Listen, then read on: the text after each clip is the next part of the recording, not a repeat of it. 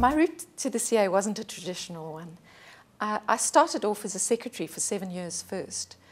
And at that point of my life, I just thought that I could do better than this. Uh, I would like to try and do something more, more with my career.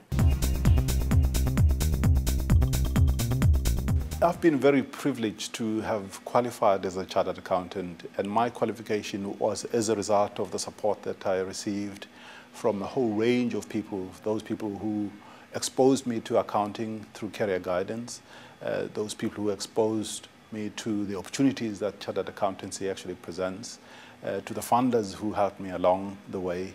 And today I would want to give back to young people who also have the potential and, the, and really create opportunities for them to become chartered accountants. And being a chartered accountant has been very important to me because uh, it has allowed me to really participate in the South African economy in a real sense.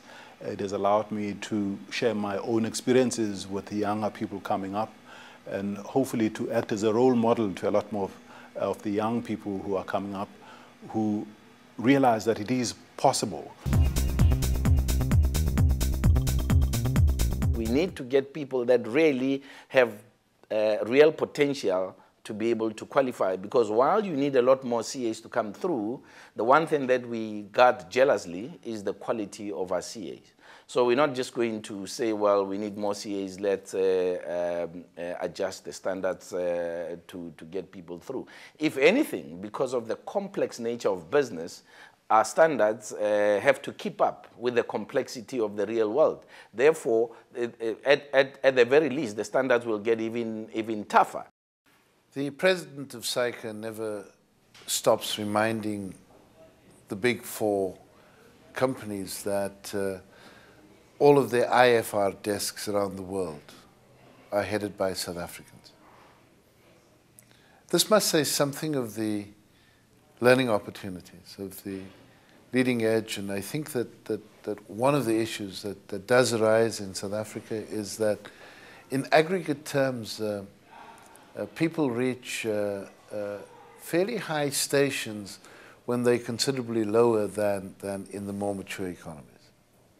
I must admit I've been a little sceptical about the, gen, the Generation Y thing, but I think there are some real truths in there. And one of those is that they are intolerant of poor leadership.